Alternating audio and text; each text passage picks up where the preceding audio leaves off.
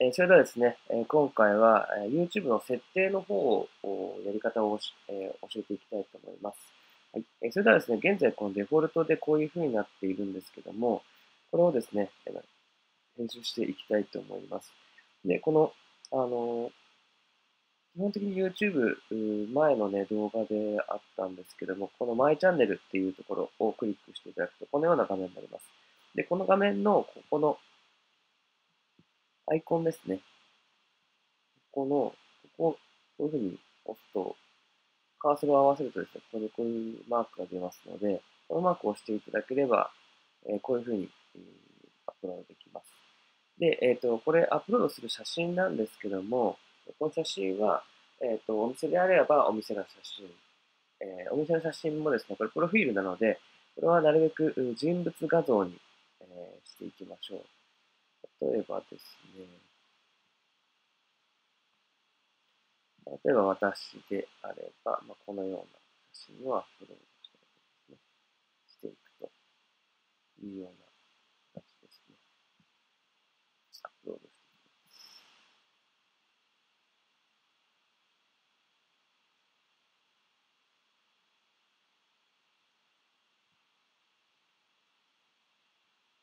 はい。まあ、このようにですね、えお店の方は、あお店の白衣ですね。あの白衣とか、まあ、施術してるシーンとかですね。あとは自分の写真を、えー、載けておいてください。はい。で、その次はですね、背景の方ですね。背景の方は、こちらのチャンネルアートを編集というところで、この、はい、チャンネルアートの推薦サイトですね。これ 2560×1440、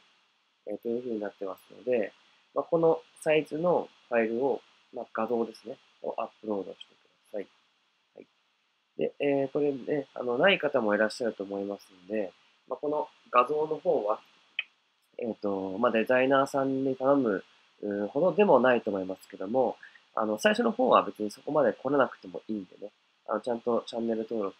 の、まあ、チャンネル登録者が増えたりとか、あとはその、えー、ちゃんともっともっとかっこよくしていきたいなって時にやればいいと思いますので、えこれがすぐ用意できない方は、一旦まあこれ飛ばしちゃってもいいかなと思います。このね、あの自分の顔とか、それだけはやっておいてください。で、これ自分の顔のこの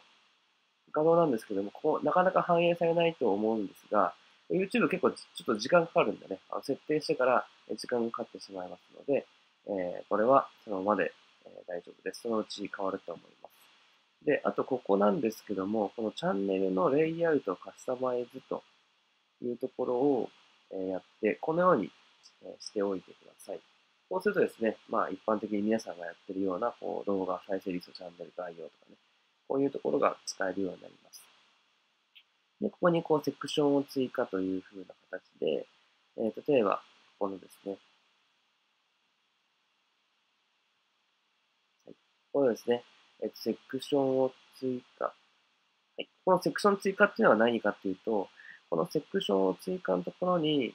えっ、ー、と、どういうのをやっていくかっていうのが、何を表示させるかですね。何を表示させるかっていうのが、えー、こういうふうにできるわけですね。横一列に追加とか。はいまあ、こういうふうな形で、セクションっていうのはね、こうやっていっぱい作っていけるんです、まあ、こういう形になるわけです。で、これはどういう形になる、どういうのかっていうと、私の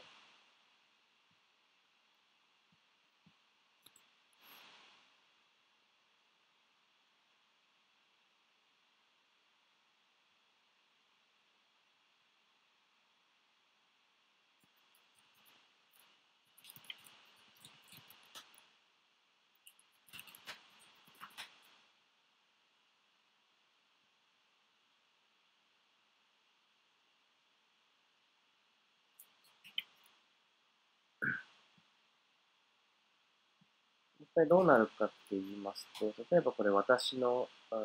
YouTube の画面なんですが、例えばですね、これ、